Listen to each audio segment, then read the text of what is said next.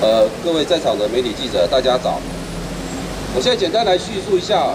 华航的修护工厂企业工会的成立，到现在目前为止被裁决，呃，我们的牌是无效的一个历程。我们在一百零三年的九月三号，我们来申请华航的修护工厂的企业工会，这个是在工会法里面哦明定的一个附属工会的理念。那我们在一百零四年的九月二十五号，由桃园市政府的劳动局发给我们的一个证书，然后我本人也有所谓的理事长的当选证书。那在一百零四年的十月二十七号，也就是在我们呃发牌的一个月之后，华航工会，他就向华航的企业工会，就今天下午两点要在那边开会的那个工会，哦，然后。他就跟劳动部提了所谓的诉愿，他搭配了资方，用资方提供给他们的我们在人事跟会计上面资料的不齐，然后呃就跟劳动部提诉愿，然后来打压我们这个工会。那很凑巧的，在一百零五年的一月份的时候，华航的整个中华航空公司，他也参与了诉愿。这个是两个工会之间的事情，我没想到资方他就是用，他是用什么样的理由来参加了这个诉愿案？后来在五月十一号，我们收到了劳动部，呃，这个诉愿委员会给我们的裁决书，然后里面的内容通知我们的牌照被撤销，然后请原处分单位，也就是桃园市的劳动局，在两个月内找适当的法令另行处分。所以在这个期间之内，我们的还都还是在所谓的争议期间，都在受工会法的保护。那很在五月十二号的时候，啊，五月十二号的时候，我们在呃今年三月八号，由我们修复工会提出来的第一次的裁决，也就是刚刚主持人提到的裁决的呃零零七号，然后他应该是要在五十四天之内。就要开第一次的裁决庭，这是在法律上的规定。结果劳动部就一直拖延。各位记，各位媒体记者要记，要要晓得一件事情，在同时间，十月二十七号，劳动部的裁决呃的诉愿委员会，这个时候也正在进行。他在进行的过程中间，他一直拖拖到了第六十五天，也就是在呃五月十二号的时候，通知我们开第一次的裁决庭。然后我们的牌是在五月十一号前一天就被撤销掉，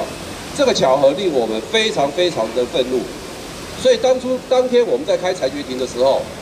我们基本上来讲，我们都要用非常粗暴的字眼来对付对付劳劳动部了，哦。所以在我们呃在资方跟呃劳动部这两方面，他们认为我们的牌哦已经无效，所以。资方在今年的六月一号，因为五三一的大游行，华航集团的大游行，然后我的两个干部因为发了声明稿，然后参加了呃接受了媒体的记者，被公司认为说他们是用个人的名义参加，然后用公司内部的法条要建议总公司给予他们记呃开除的处分，那所幸在工人的帮忙之下，所有的工人帮忙之下，然后我们现在目前申请的调解。这个案子现在目前还在调解当中。呃，应该是这样讲，我们撤销它的时间是一百零五年的五月十一号，对不对？好，那这个撤销是致死无效。所谓的致死无效，是一百零五年发出去的命令之后，它的无效是从它设立的那一天开始就无效，它不是之后无效，是致死无效。从它设定的设立的那天，它的设立时间是一百零呃一百零四年的九，我等我看一下。啊，是一百零四年的九月二十五号，那也就是说，那个我们那个书院的决定的命令撤销的效力是从一百零四年开始就无效，所以说他现在不管我们这个案件有没有在裁决审理当中，他现在通通都是没有这个法律身份，没有公会法上面的身份的，这点是我们裁决委员这个开过裁决会议以后，就是五月份我们调查之后开过裁决会议以后。才做出的决定，就是说这样子对他们最有利。因为在呃开第一次调查会议的时候，他们也听到，他们也出席了，对方的资呃就是资方的代表，他很坚持说，按照法律规定支持无效，他是没有身份的，所以说要求我们裁决委员会做出不受理决定。但是裁决委员会认为事关重大的，所以说应该要让这个呃这个修补厂工会啊有一个有一个救济的机会，就是按照诉愿决定书上面最后一行上面有写到，两个月内他可以提起行政诉讼。那提起行政诉讼，那行政法院的决定，他可以决定要不要撤掉我们原来的呃这个这个诉愿决定。如果撤掉，那就对他有利，那他所有的身份都保障下来。那我们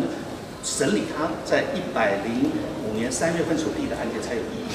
不然的话他没有身份，那审查结果很清楚就是呃不受理，可问题因为他没有法定资格。这是按照我们的不当劳动行为裁决办法第九条第一项第三款。问题是为什么会拖到六十第六十五天？哦，中间我们要呃，就是应该是五十四天内受理第一个有七天的这个分案的程序啊，七案七天分案程序，分案完以后，我们会要求双方答辩。那这个案件呢，呃，理论上面他我们在审理的时候，并不是他如如他们所讲的说我们是刻意等这个社会决定出来，绝对不是。主要就是因为我们要做一些资料的整理，但这个整理来来回回是要一些时间的啊，所以说我们当我们把资料都收集完了以后，才开始进行我们第一次调查会议。但是不管这个调查会议是在六十天以后开，还是在当天就开，因为那个书院决定的关系，他都会让当事人的工会资格无效，因为他是支持无效。所以说，不管有没有再审理，对他来讲，呃，那个书院决定的撤销，对他来讲是一个呃呃法律上身份很重要的确立的一个内容可是依照处理法，不是就是要在五十四天之内吗？啊。依照那个处理法，不是就是要在五十四天之内吗五？十四天，对，是有一点点拖延的。所以劳动部的确就是在这个法令上面这个东西会影响到他所说的那个那个审理的案件，因为什么？他的所有的审理，如果我现在在审理当中，他的资格被撤销，也就可这个资格撤销是在五十四天之后啊。撤销是致死无效。他的无效是五月十一号撤的，但是他的无效是从一百零四年的九月二十五号开始，是致死无效，不是往后无效。